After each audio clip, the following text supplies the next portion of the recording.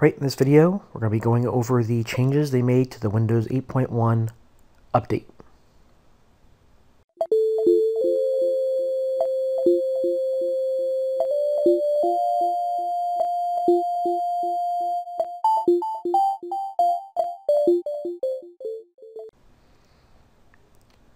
Right, here we are on the start screen.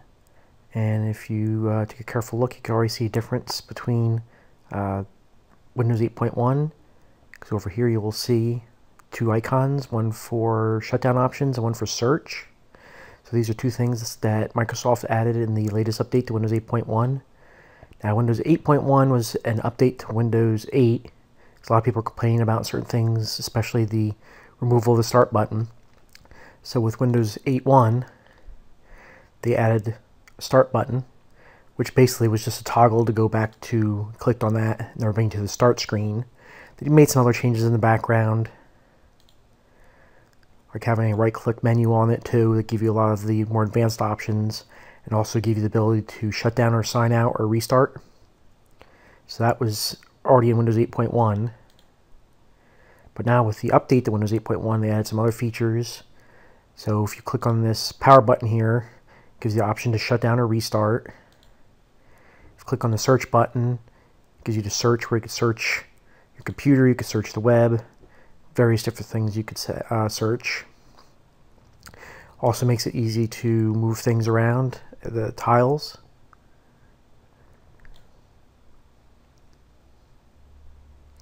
And also by right clicking on it, come down here and you can resize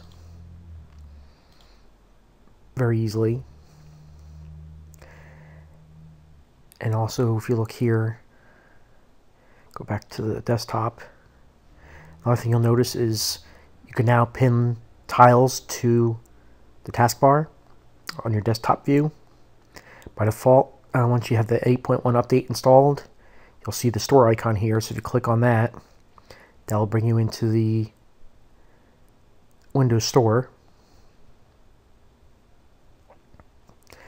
and then you'll notice something different. If you hover up top you actually get now a title bar where you have a minimize and a close button. So if you hit close that closes the modern UI app and returns you back to where you were which is the desktop here. You could also take other apps and pin them to your taskbar if you like. So say you want your I don't know say the maps.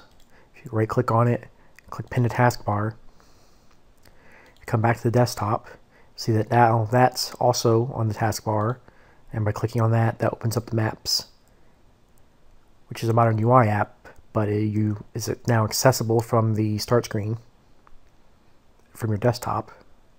And if you come up here, you can minimize it, which again brings it down to the start screen. You just go back to it, and click on it, and I'll bring it back up. Here, I'll close this. Brings you back to the desktop. And also, one of the things that when you restart the computer, it will automatically, if you're running on a desktop or a laptop, it'll automatically default by coming to the desktop view instead of the start screen. And if you're on a tablet, it will boot to the start screen. Now, with just regular, regular Windows 8.1, you were able to accomplish that by going to the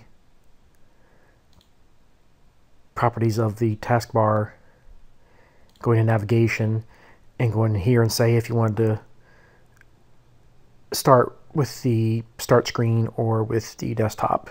But now it'll detect what you're on and automatically do that.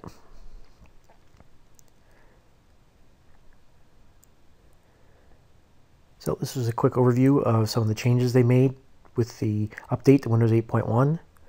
Hopefully you found this useful, and thank you for watching. If you'd like to see more Windows 8, Android, or beginners videos, click on one of these video clips, and also consider subscribing to my channel. Thank you.